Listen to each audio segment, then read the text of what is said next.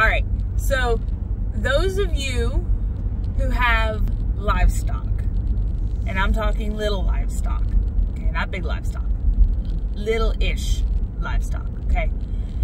Um, and you have to trim hooves, game changer alert. So, what you're gonna do is you're gonna go to Amazon, and I'll try to link it if I remember. Probably not gonna remember. So, you're gonna go to Amazon, and you are going to type in dog grooming harness or sling, whatever. And you're going to buy, it's like 40 bucks, okay? It's 40 bucks. It's not that bad. Considering all the other crap we buy for our livestock, that's not that bad.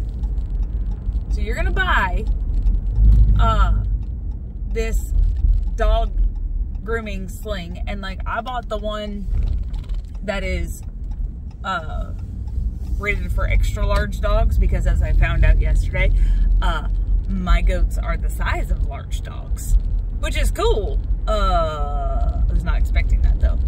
Um and you're to buy it and then you're to put them in it and they're to fight you. But guess what? Goats cannot run away from you if they're suspended in the air. Which means that you get to trim their hooves with no problem. Game changer. Now, there one there is one caveat to this. Um, it puts pressure on their bellies because that's what's, you know, slung. And they're gonna burp.